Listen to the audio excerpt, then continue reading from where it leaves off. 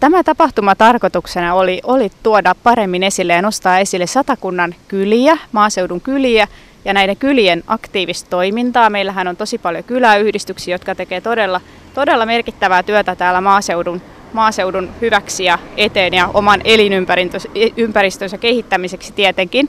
Ja sitten niin toinen, toinen asia, miksi tätä lähdettiin järjestämään, on se, että, että ihmisillä olisi niin kuin helppo lähteä, olisi semmoinen niin kuin matala kynnys lähteä tutustumaan näihin kyliin, kun ei varmaan ihan muuten vaan tuu ehkä lähdettyä.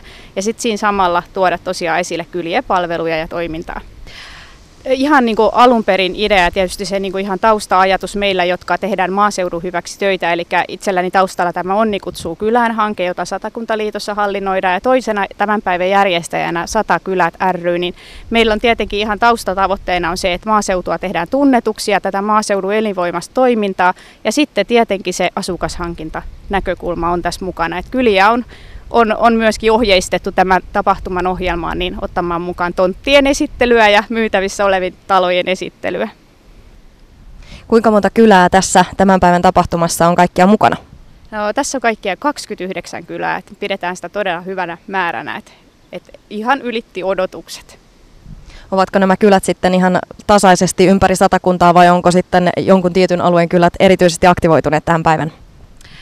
No kyliä on aika hyvin ympäri satakuntaa. Että pohjoisimmat löytyy tuolta Siikaisista ja eteläisimpänä ihan meidän juuri tuore viime viikolla julistettu uusi maakuntakylä Kukonharja Huittisessa. Että lienee muutenkin satakunnan eteläisin kylä. Millaista toimintaa tämän päivän myötä sitten näissä kylissä on tarjolla?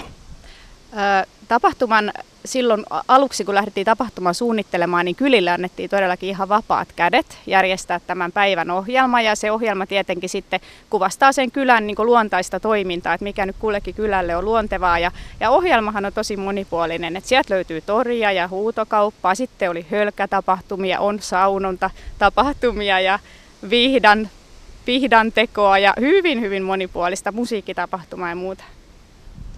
Olemme täällä Leineperin kylässä. Olet itse täältä kotoisin. Millainen kylä on Leineperi? No Leineperi on nykyään tämmöinen noin vähän yli 200 hengen kylä, aktiivinen maaseutukylä ja Leineperi on siitä vähän poikkeuksellinenkin ehkä, että tämä on tämmöinen vanha ruukkikylä ja se tietenkin tekee tälle kylälle ihan omintakeisen leimansa sitten. Mitä kaikkea täällä Leineperissä nyt sitten tänään tapahtuu? Leineperin ruukkikylä yhdistys järjestää tuolla kylän saunalla. Tällaista, niin, sauna on lämmin ja uimaranta siinä on käytettävissä ja makkaran paistoa ja frisbee-golfia on ainakin tiedossa. Tuleeko tämmöinen avoimet kylät tapahtuma jatkumaan sitten tulevina vuosina, että tullaanko tämmöisiä päiviä järjestämään myöskin jatkossa? Ainakin se, millä tavalla tämän tapahtuma otettiin vastaan täällä kylissä, niin se kannustaisi ainakin meitä järjestäjiä te- tekemään tämän myös niin kuin uudemman kerran. Et, et tietenkin keräämme kyliltä sitten palautteen, että miten meni ja paljonko väkeä kävi ja, ja mitä voitaisiin ehkä tehdä, et, kehittää sitten jatkoa ajatellen. Kaikki tämä siksi, että et ainakin itse toivon, että tämä jatkuisi.